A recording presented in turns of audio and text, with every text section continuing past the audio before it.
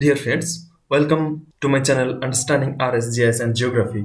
In this video, I'm going to show you the process how you can change the language of Google Earth Pro according to your need. So first of all, you need to click on tools, then click on options, then here you can see several option head like 3D view, cache, touring, navigation, general. You need to click on general then see language settings. Language click on here system default. I am selecting system default and you can select as per your need as per your wish. English uk english us and so many languages are portuguese etc so many languages are here. You need to select hindi. You need to select as per your need. So i'm selecting this and then you need to click on apply and ok.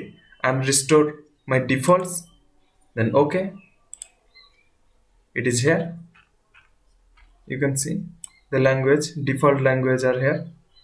Okay i think this is english language and local language of any region or place. See here.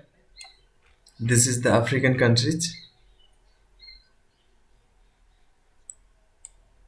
Here only English and local local language are shown because in default system this type of features are here.